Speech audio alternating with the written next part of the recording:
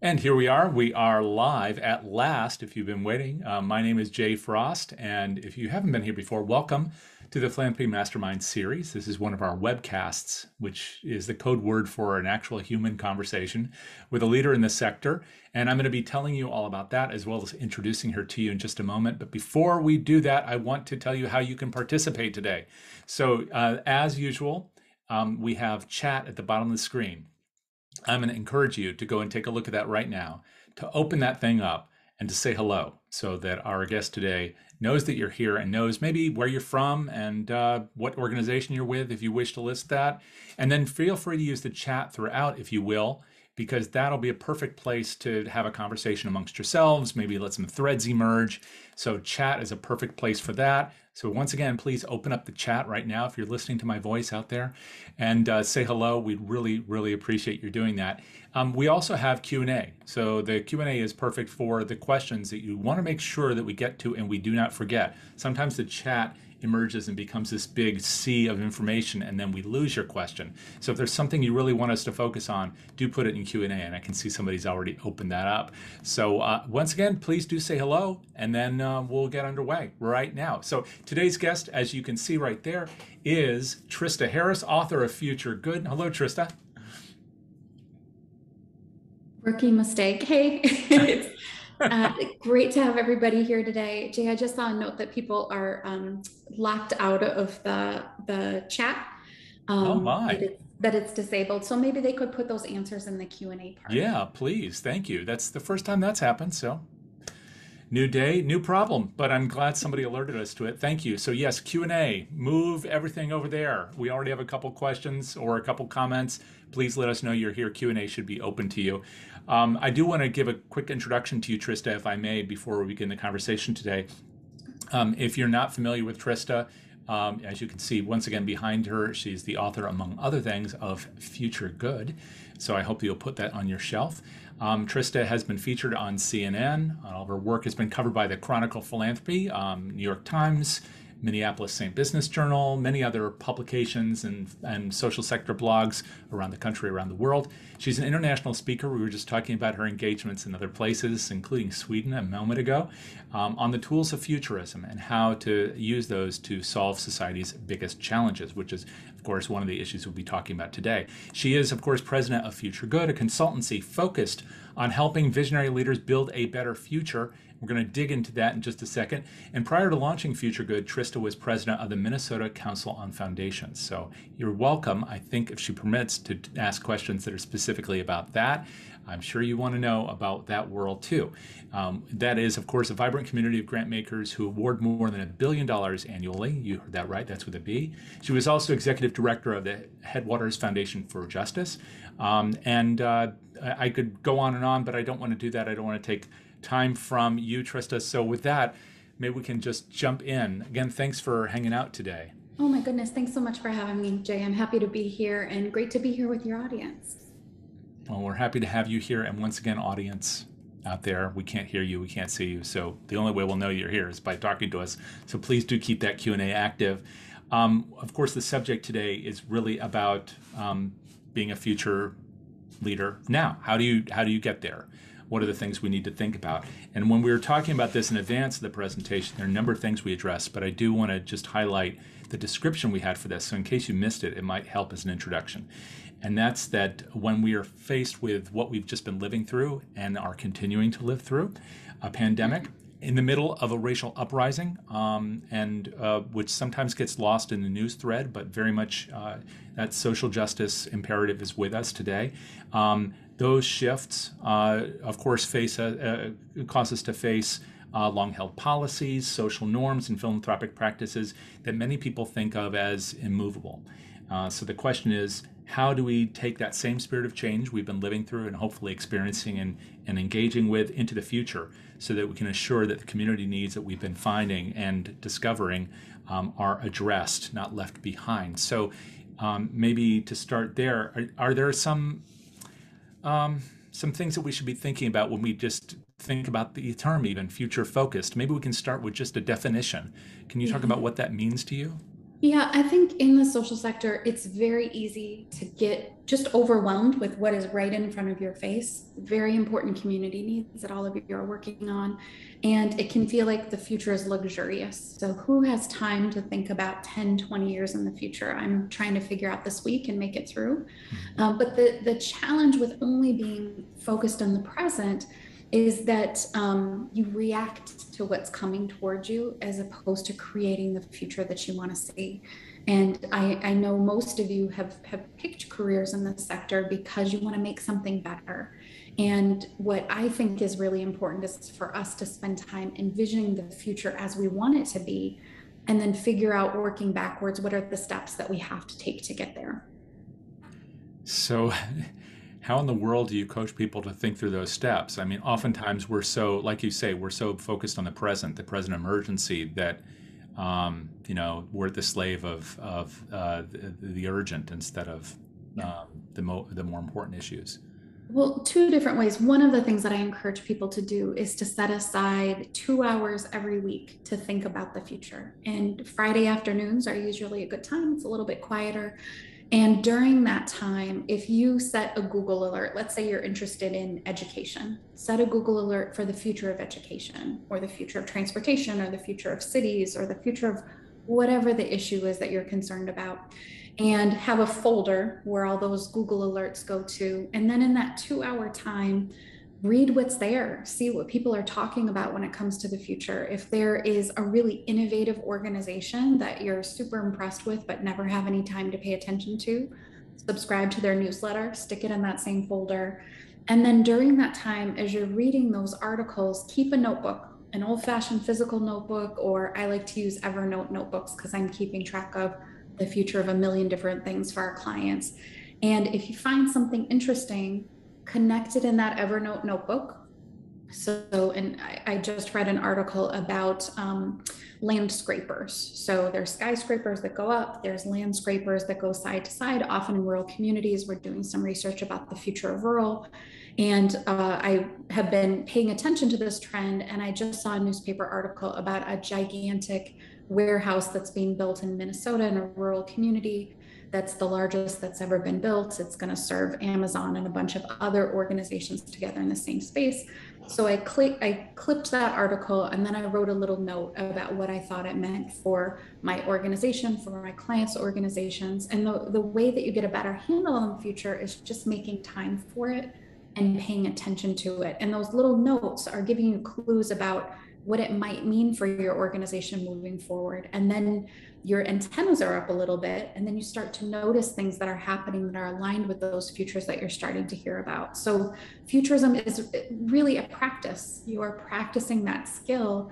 And the more that you practice it, the, the more able you are to understand what's coming next. Uh, one of the things about thinking forward like that is that uh, a lot of the things that end up in that Google folder might be pretty negative predictions, mm-hmm. or at mm. least cast that way by whomever is writing about them. Sure. And how do we um, how do we make sure that we don't become enveloped by the fear and so then we shut down? For sure. I think there's something about using future of and whatever the word is that it usually skews more positive. So it's people that have taken the time and energy to envision what's possible I think you also need to know about negative possibilities. We do a lot of research about climate and those sorts of things. It's important to know what's possible so that you more actively work towards that alternative future.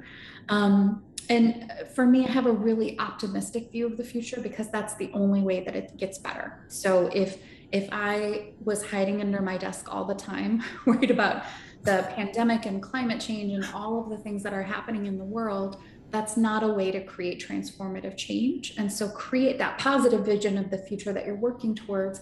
And it actually makes the sort of dumpster fire of the present a little bit more manageable because you have a view of what you're actually working towards and that it'll be better then. Um, it's so interesting that, that, uh, you know, you talked about how an optimism is is essential, the essential component so um, but we live in a world where a lot of people focus on the negative yeah um, and i know that one part of this is to set up your own priority system. That's what you're talking about. But then when we bring those those uh, priorities or discoveries to others that we're going to need to partner with, um, the reality is even if they're thinking forward, they might be thinking, you know, downhill. So how do we address that in conversation? You know, Yeah. introduce ideas without getting you know going to the dark places. There, there's a, a chapter in the Future Good book that's called Stop Loving the Problem. And I think that's the most important thing that we have to do in the sector. And I have been in a million meetings like all of you where it's like the racial disparities are this big and this many kids are not getting what they need in their community and this many people are homeless. And the problem with sitting in that space of constantly describing how terrible things are is it feels like you're doing something because you're having a convening or a meeting. You've done a bunch of research. You're you're sort of talking about what's happening but you're not actually doing anything to make it better. And so by the stop loving the problem frame is about bringing a solutions mindset to those spaces. So when you are in those meetings you go great that's amazing data. What are we going to do about it what is the alternative? What do we want it to look like? What would this problem look like if it's fully fixed? A big piece of future goods work is working with nonprofits and foundations and helping them envision 20 to 50 years in the future. If they have fully met their mission what does it look like if they've solved the problem that they're they're working on? What does it look like out in the communities that they care about? And what does it look like inside of their organization? So what sort of organization would they have to be for that to be a true statement and i think when you sit in that space of envisioning 20 to 50 years in the future the trick of it is that it doesn't actually take 20 to 50 years to make that future possible. It can take three to five years. Uh, the challenge is that you need alignment and you need people on the same page about what that successful future looks like. And if you give them a long enough runway to envision, then it's about legacy and it's about what's being left behind. It isn't about current work on your desk and do we have the capacity? And I don't think we have the right staff people to make that happen.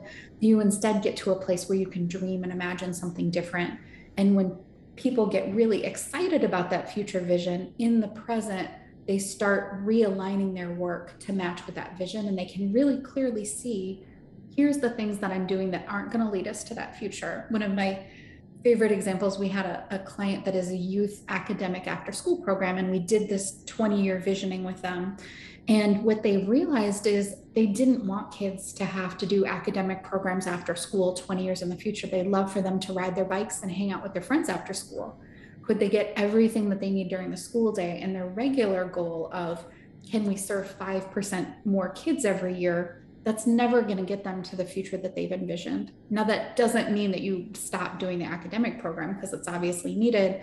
But what they decided to do is to use some of their organizational time and resources to work on public policy change, to make sure that schools are funded fully, and to work on teacher training to make sure that teachers have access to cutting edge tools.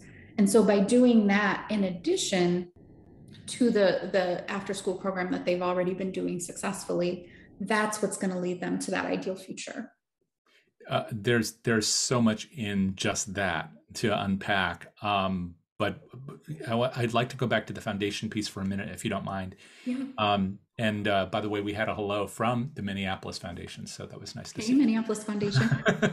um, thank you, Joe. Uh, so one of the um, one of the issues that foundations have encountered, at least uh, publicly, uh, you know, the kind of the social media interaction they've had, um, has been that they have taken perhaps a long view in their in their mind to addressing issues.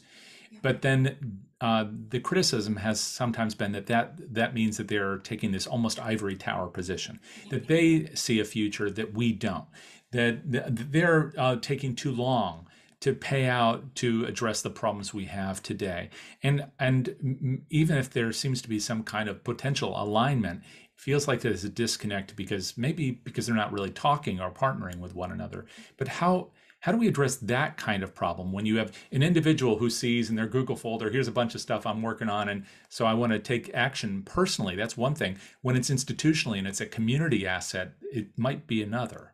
Yeah, for sure. I've I've worked both on the nonprofit side and the philanthropic side ever since I graduated from school.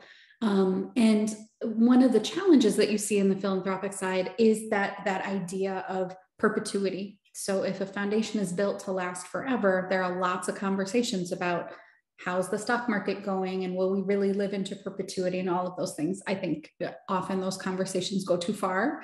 And what the government has said is foundations must spend 5% of their assets. That is their responsibility. That is a minimum. It's not a maximum. So what what i have seen since 2020 has been the most transformative change that i've seen in the philanthropic sector since i've been connected to the field and often you hear from foundations that doesn't fit within our process, that time frame doesn't work. Mm-hmm. I saw foundations within 6 weeks move to a place where they were moving huge amounts of money to pandemic response. And later in 2020, I've seen a number of foundations that completely adjusted their grant making to make sure that racial equity was in the forefront. And if the pandemic had lasted six months, nine months, I think that foundations would have gone back to their regular practices. But because the pandemic continues and continues, it has lived across multiple grant cycles. And now, this sort of responsive and thoughtful philanthropy is the way that many foundations are just doing it because it has happened multiple times, which makes me unbelievably hopeful for the field. When I talk to foundations, they are looking for transformative change. So just like folks on the nonprofit side, they have dedicated their careers to trying to create transformative change. And there was a, a, report that came out when I was the president of the Minnesota Council on Foundations that said that our Minnesota foundations had put billions of dollars into education over the previous 10 years, and the results for kids were actually worse at the end of 10 years. So there, there is nothing more frustrating than feeling like you have been investing resources and trying to create change and the pace of change is getting worse faster than you're able to invest in those. And so when you come to a foundation and say, here's our vision of the future, here's what we're working towards and what we're trying to create. Yes, there are a lot of problems in this moment, but here's how we think we're going to get to a different future. That's where the easy yes is because they are just as desperate for big solutions as folks are on the nonprofit side.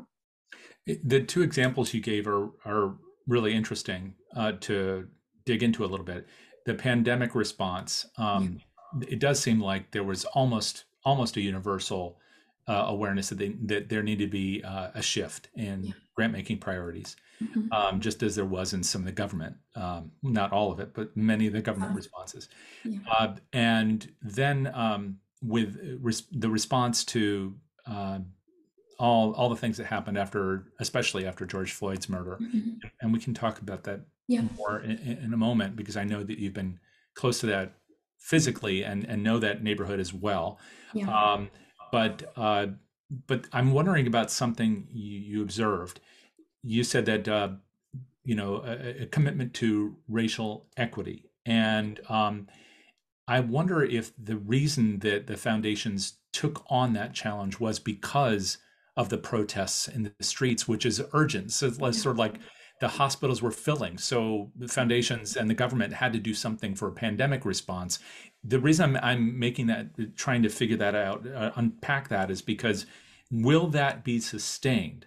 It's one thing to say, okay, we've seen a pandemic, there's going to be another pandemic. Mm-hmm. So therefore, we have transformed, we will address these things more concretely and rapidly. It might be another to say, we're actually committed to uh, racial equity.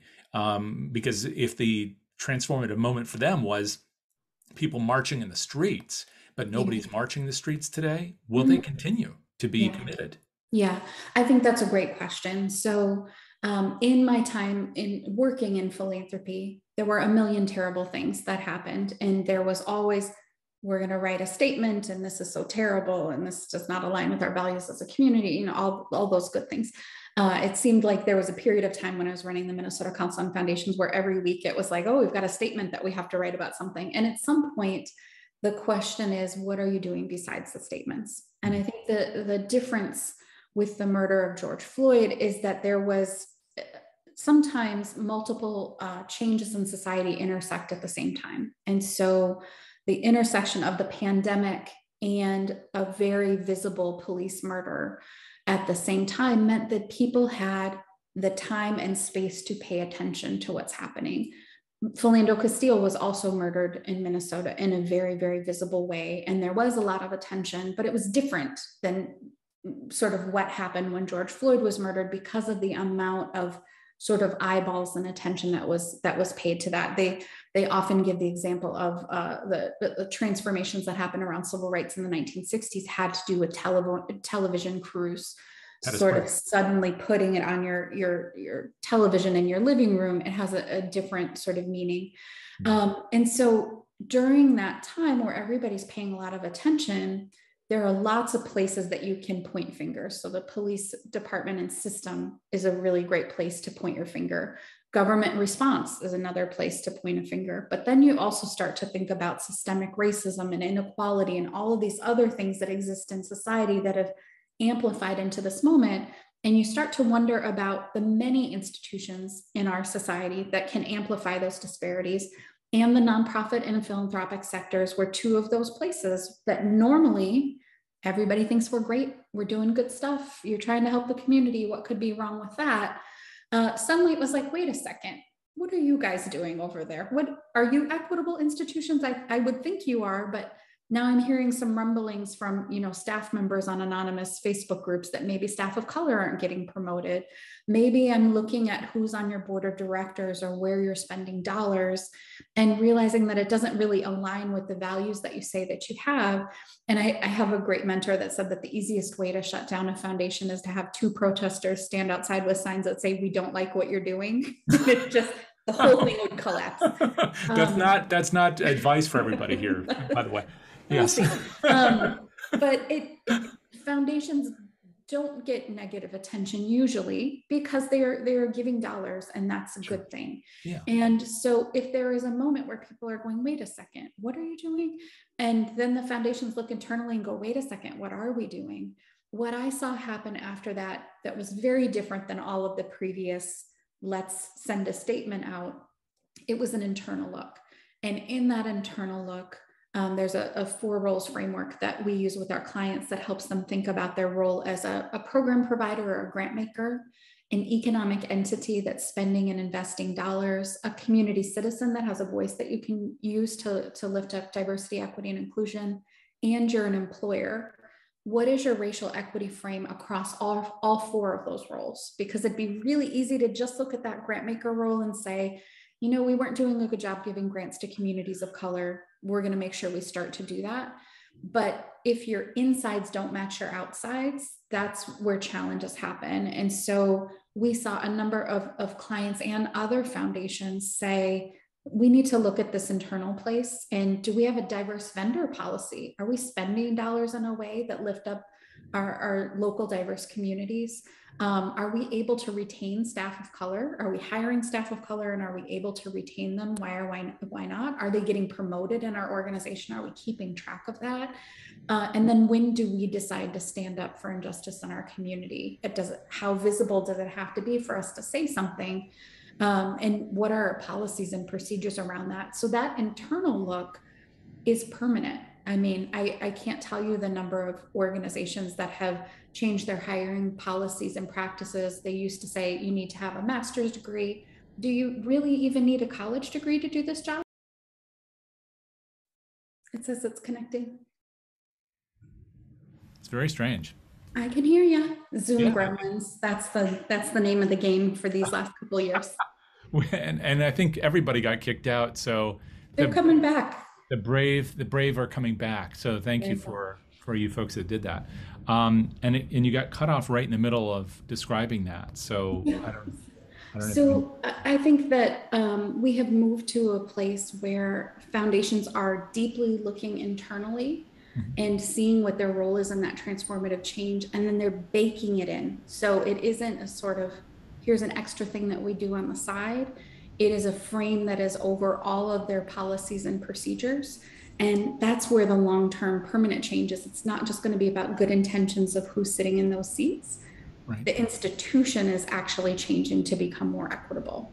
I want to ask you about a couple things there. Uh, one is uh, very much about definition, but the other is about that word about permanence. Mm-hmm. So, um, and I'll start with that because you were just talking about these changes are effect, effectively permanent. Um, if we had had a discussion about, for example, diversity 30 years ago, because I'm old, so I remember how these things were defined then, Yeah, yeah. it would have been, I think, pretty different from the discussion which people my son's age are having today. In other words, I, I, I, I see that as evolutionary, that, we, uh, that um, the experience of young people in America today is fundamentally different for, not for all, but for many, more diverse environments, more diverse classrooms, diverse thought. Anyway, um, so if, if the, a, a process and a policy were instituted in 1960, 1980, 2000, which was uh, of that time the understanding of what constituted diversity, equity, and inclusion. Although I'm not sure we were using the term in quite that way back then. Um, that still wouldn't be very an optimal policy for today. So while the policy is permanent, and that seems like a good thing, is it also evolutionary? Does it keep evolving with us? I think the interesting piece with many organizations is they've started to build in a process. Um, with, with some of our clients, we do a, a rolling three year plan to help the organization become more equitable. And at the end of each year, you're adding another year to the plan. So the intention is to sort of look at what's the progress that we've been able to make? What was really hard that we thought was going to be easy? And what did we knock out of the park because everybody was completely on board? And let's reconfigure what those future year goals are.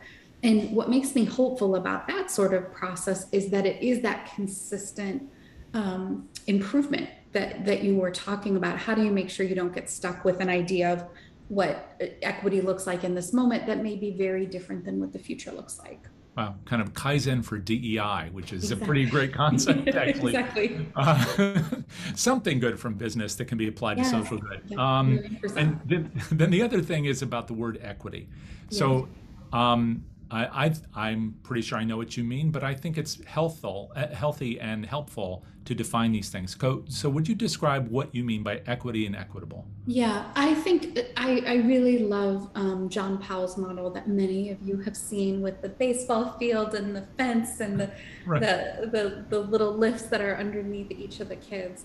I think, um, especially within our organizations, we have to build our, our programs and our systems for the hardest to reach.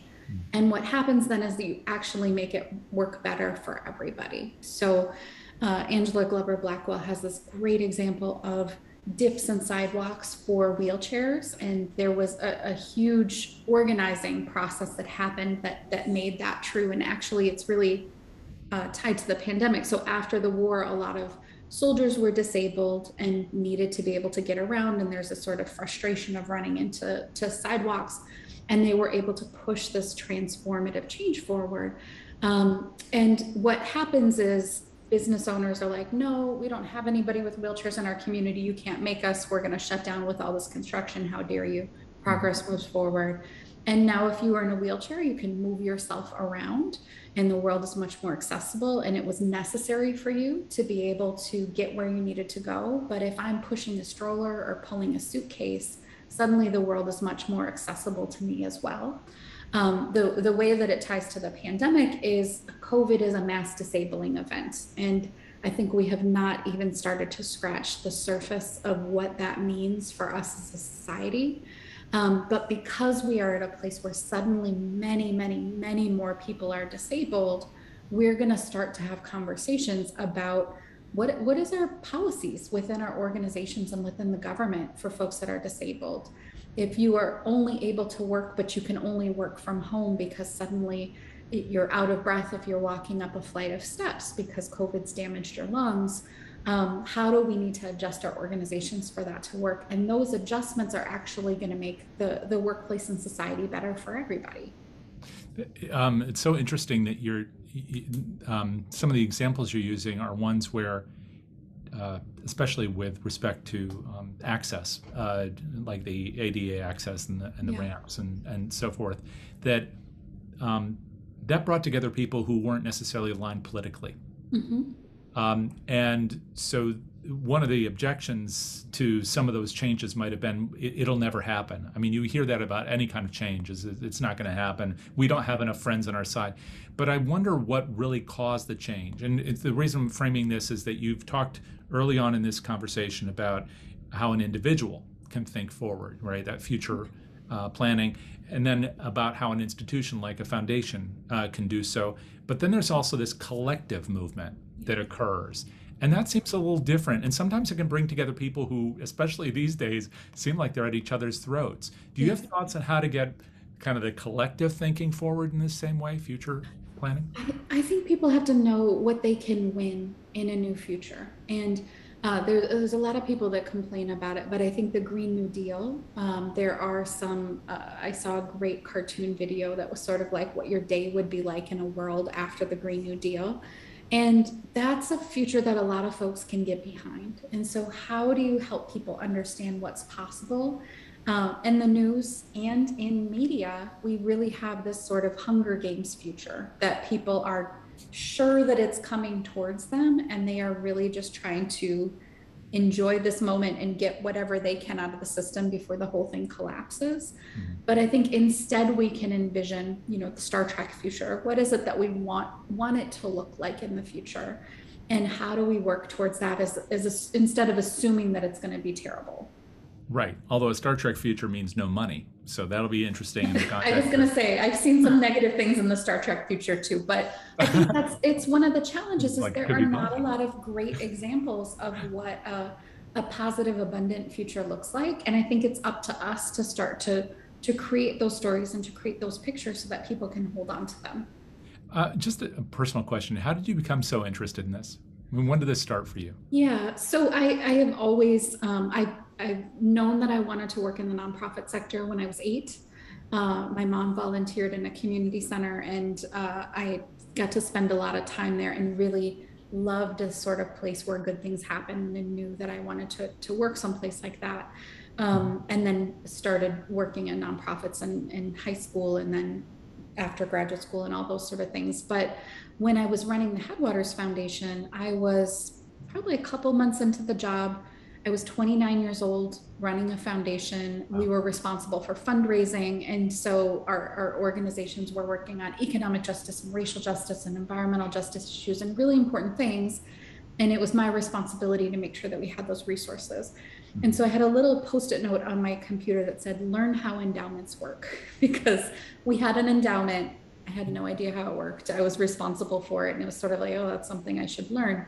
Um, a couple months into the job in 2008, the stock market collapsed and our endowment lost between 30 to 50% of its value.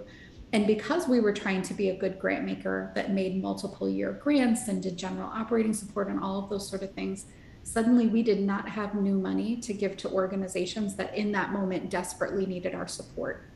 And so it is not a great place to be. And uh, my son was then a, a, little toddler and based in Minneapolis. And there is a bookstore here that uh, is called Wild Rumpus Books, and it's got wild animals running around. So there's chickens and bunnies and cats and parrots, and wow. it's wild.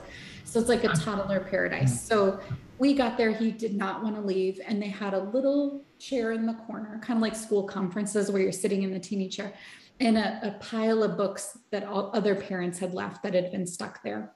Hmm. So one of the books was called Flash Forward, and it is about how to use futurism to gain a business advantage during times of crisis. And so I read it front to back while we were there and realized that, hey, we're in a time of crisis. Uh, maybe some of these tools would be useful and started to bring them to our grantees. And what happened in the year and a half after that is our grantees had 10 legislative wins, including alternative teacher certification to diversify our teaching force, uh, homeowners bill of rights to deal with the mortgage foreclosure crisis mm-hmm. uh, and marriage equity in the state of minnesota. And it was the most legislative wins that our grantees had had in our entire history. And i credit that to us helping them develop a shared vision of what was possible what were the what was the future that they were working towards um, and how do they get aligned across multiple organizations to be able to make those futures possible? Um, the people who come to this series are typically fundraisers or yeah. fundraising adjacent. Yeah. Um, yeah. uh, they often find themselves in that role by accident, not by design. There's no particular you know coursework for it. You know all this. I've been an Um, accidental fundraiser too. Yes. That doesn't mean we don't love it, but you know Yes. we're we're kind of the asteroids hitting the Earth here. It's an accident. So Yep. um, I guess one of the issues for many of us might be as we think forward and imagine that future, um, individually, institutionally, and even in this sense, like a community coming together for the kinds of change you want to see. Um, it also means that we inevitably have the two things that you were just thinking about. Wherever we are financially you know if it's the economic crisis or booming stock market inevitably we have to make a goal. And so fundraisers are thinking about that. And that is something that we need to do. If we don't do that we don't get anywhere. But maybe you can help us to unravel why thinking with this future focus can help us be successful today even financially. Mhm. Yeah, definitely financially. So, what we have found with many of our visioning clients is at the end, they have an ideal future that they can talk to foundations and individual donors about. And they're able to sort of point to the, the point on the horizon that they're working towards and say, here's where we're trying to go, and here's how your dollars are going to help us get there. As somebody that was a program officer for many years, most of the grant proposals that I received were here are the terrible conditions in the community. Please give us dollars. And I was like, that is really depressing. so it, you're you're sort of spending all this time describing how bad things are, and with the hope that your intervention will make a difference, but you're not telling me what that difference might look like. It it makes gut sense that if we invest in that after school program, good things will happen. But what I'd much rather hear about is that story of kids that don't have to go to an after school program. And here are the steps that we're taking that will actually make that future possible. So I think that future focused organizations are much more likely to receive resources. And I've, I've talked to some of the folks that have helped with the um, uh, MacKenzie uh, Scott gifts and those conversations with organizations. And what I consistently hear is those that have a really clear picture of the future that they are trying to create are the easiest investments to make because you know if you put in those extra resources, here's what it's going to look like if they're successful. Ah, wow, which is probably another good time to say that uh, this does not mean that people should all reach out to you in order to get to Mackenzie Scott. Uh, that, that's not the message. Um, although, before we go any further, I do want to encourage people to be able to read more about your your work. So, um, I, we have some other questions, and I'd love to get any questions that might be out there from those who resumed the program with us. Um, but can you share, Trista, how people can learn more about you, about your book, about your work? Yep, you can. Uh, wearefuturegood.com uh, is our website. We Are Future Good is also on all of the socials. Those are the best places to connect. Um, Future Good does a lot of visioning with organizations. So uh, often you're sort of in that strategic uh, planning lane. It's that same sort of work, but using futurism tools to be able to get there. With we made a decision about six months ago that anytime we do that strategic visioning work, that we're using an equity frame for the work. So it used to be something that we would add on, like if you want to make sure this is an equitable future, here are the two more steps that we do with you. But uh, organizationally, with limited time, we decided that we don't want to work with organizations that aren't working to create an equitable future. And so let's help them uh, use those tools.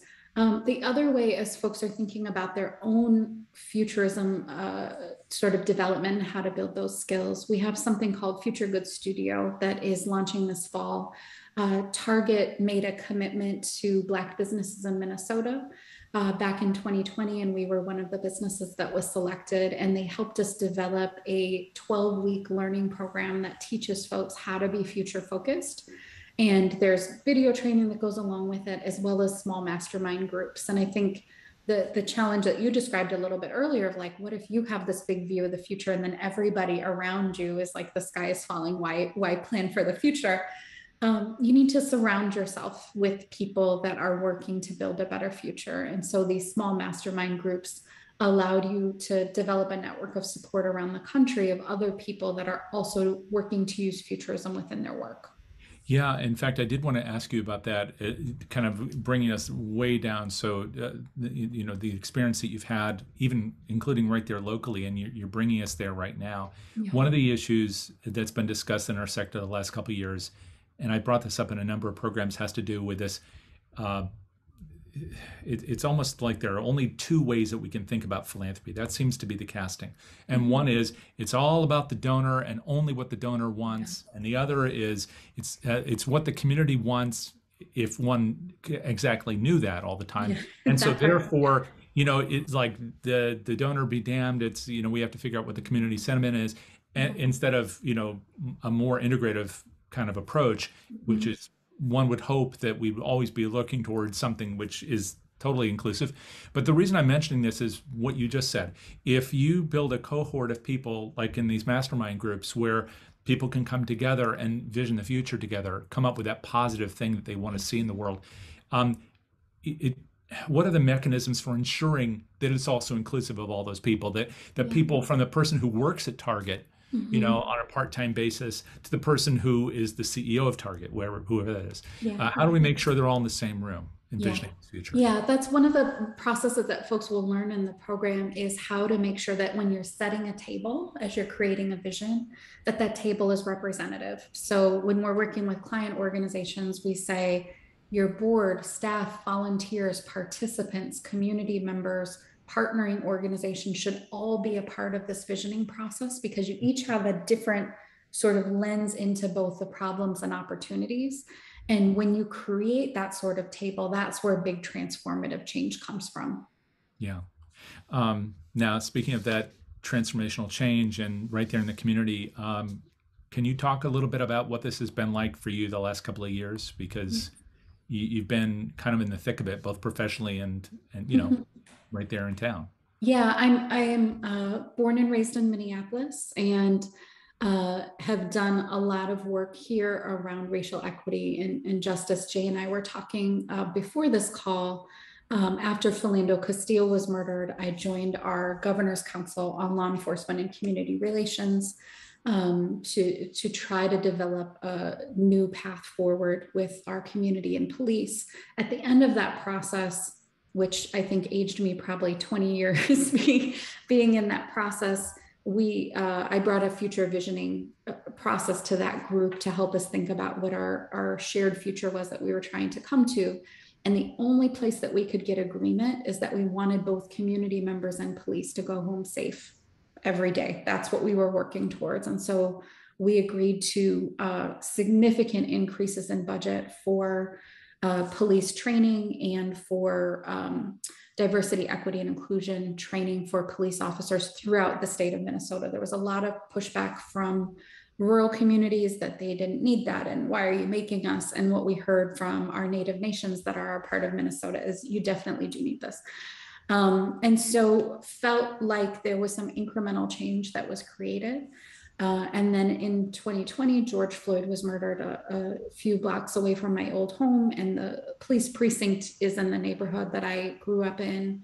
And you know, watched our our city burn down. I think justifiably, and so I got a call from the the newspaper. Sort of, you spent a lot of time on this process. You must be really frustrated about what's happening in community you know what is, what is your statement and my statement was i can understand why people are upset and all of the work that we did did not make a lick of difference because if it did chauvin wouldn't have murdered george floyd because he would have either been kicked out as a police officer long before or would have had much better training and so if the if the system is not working for people we need something completely different I was not quoted in the newspaper. Um, but well, but I but I think um, what I think happened in that moment is there was a, an awareness that the status quo was going to be deadly for communities here and continue to be deadly unless something was very different. And you know, you heard a lot of calls for defunding the police coming from Minnesota and other places.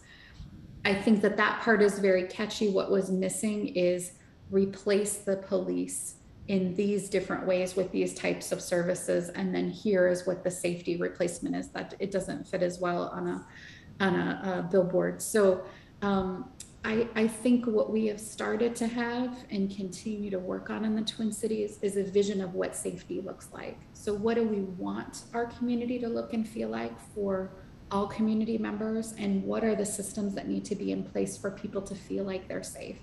And that is going to be long, hard, slow work that's going to continue over many, many years. But I think what that spark created was a moment for everybody to say, this is obviously not working. This is this this system is not serving our community in the ways that it needs to and we need something different. And so let's come up with some solutions about what different looks like.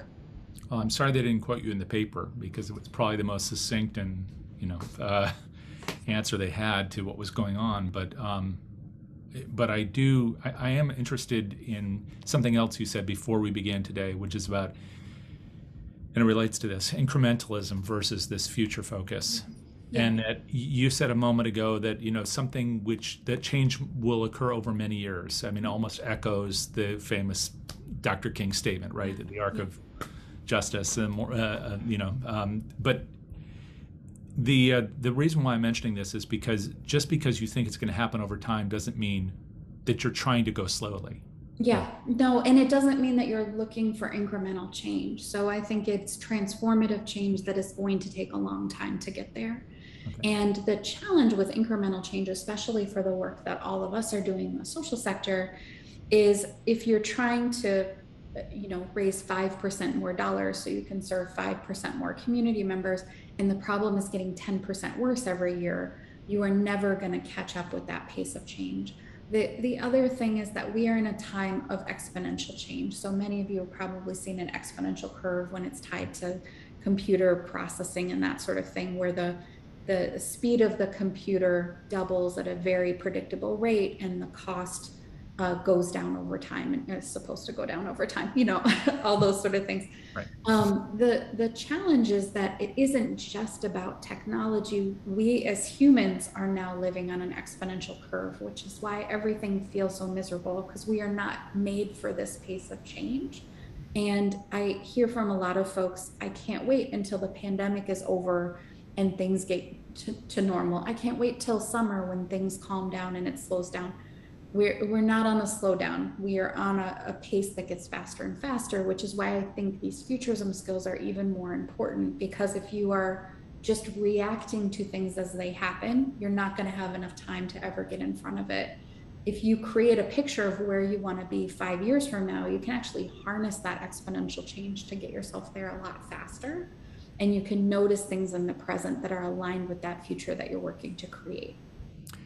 Yeah, I was just imagining if you're driving a car down the highway and you're going faster and faster, you're not looking directly at the pavement in front of your car. If you're going faster, you're looking at ahead. Yep. Um, that's and that's the only way you can make sure that you're not gonna, you know, get totally stressed out or have an accident. Yeah. Um, so when you're when you're thinking about all these things, putting it all together, and especially having you know lived through a community that has felt that front and center, what's the uh, what's the future focus that you have? What's in your folder? What's in that Google folder? Are you able to reveal that secret? Yeah, there's lots of good stuff in there. So I am really, really hopeful about the potential of artificial intelligence and robotics. There are a lot of people that are worried about what is that going to do for the workforce. What I think that it's going to do is um, jobs and things that are routine and sort of don't use the best of humans' thoughtfulness will no longer be done by humans. And the, the best example that I've seen is uh, often there's these uh, beautiful woven rugs that are made by children. And it's because they've got little fingers and they're able to create these complicated patterns. That is not what a child should be doing. And they have trained robots to be able to create the same quality of woven rugs as a child's able to do. That's the sort of technology that I want to see more and more of. Um, I have family that's in Wyoming that have been coal miners for three generations, and we have lots of conversations about what's coming next and you know there's sort of frustration about green energy and where is it going to go and what's going to happen to all these jobs.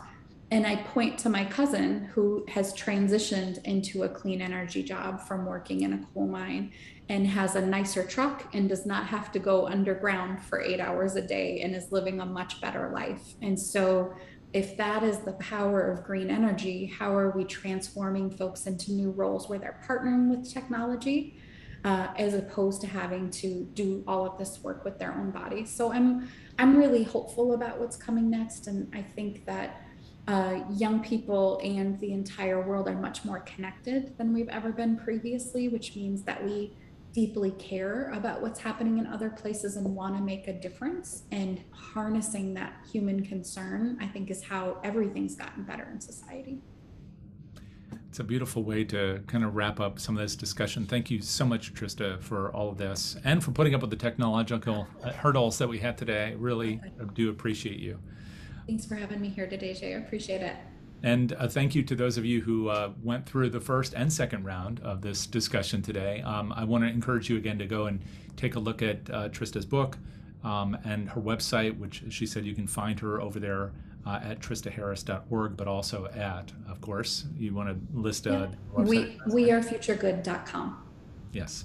So um, do take a look for that if you will. And uh, also join us if you're interested in these issues for some of the other discussions coming up. Well, we have a number of things in the next couple of weeks that I think you'll find a nice companion to this discussion. So if you don't know what I'm talking about, you can find all that information over at the home of our sponsor, DonorSearch, at donorsearch.net. So if you'd like to know more about what they do, which by the way includes artificial intelligence for fundraising, um, I'll let you I'll let them tell you all about that. Uh, but I also am a believer uh, that uh, that you can harness um, artificial intelligence for good, and that's what DonorSearch is trying to do. You can learn all about that at DonorSearch.net, and while you're there, you can find everything in the Masterminds program uh, under the Resources tab, both past programs as well as the current ones, and learn about us over on YouTube or um, over on the uh, your favorite podcasting channels. All of that's right there. So until next time, stay healthy out there, would you? And uh, we'll look forward to seeing you then. Bye bye. Thanks, Jake. Take care. Thanks.